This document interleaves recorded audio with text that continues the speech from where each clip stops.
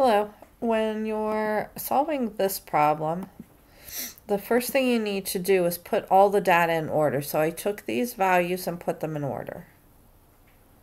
Once you have them in order, the mean is your average and you add the data up and divide by how many there are. So if we add all of these up, we get 807.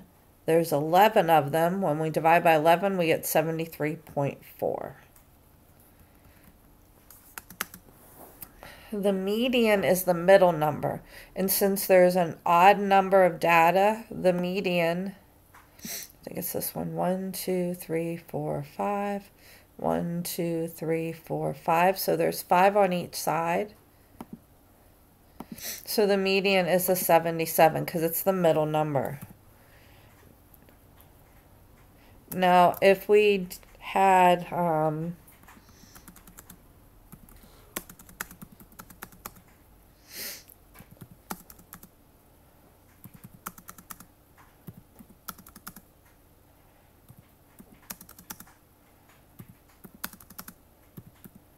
ten pieces of data. One, two, three, four, five, six, seven, eight, nine, ten. Then the middle.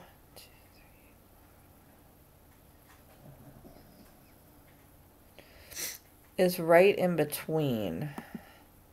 So if we get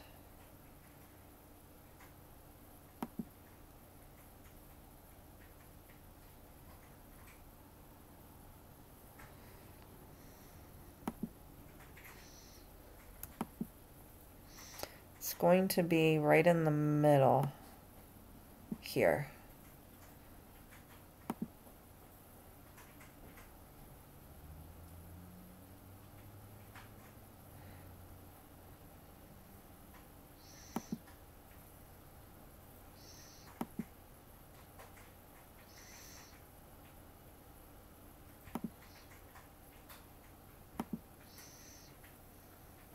And so then it's going to be um, right in the middle. So you have to take the two middle numbers, 77 plus 92,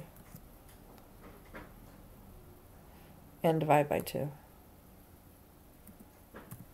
So when there's an even number, you take the two middle values.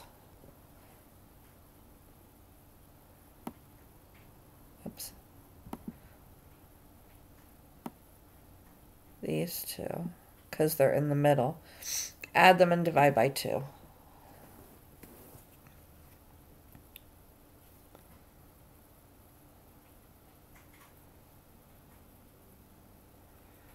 And you get 84.5.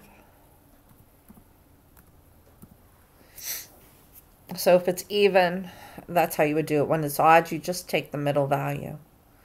The mode is the one that um, repeats the most, most often. And 51 repeats twice. Nothing else repeats. So the answer would be 51. Now if we had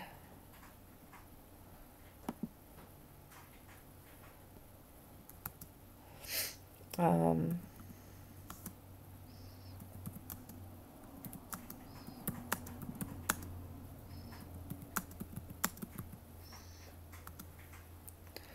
something like this where the 57 repeats three times and the 58 repeats three times, then the mode is both of them.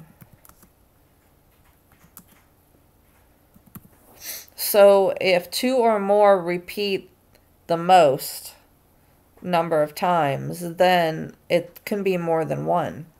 Also, if the mode does not repeat, your mode could be none. So if if this 51 wasn't in there, then the mode would be none.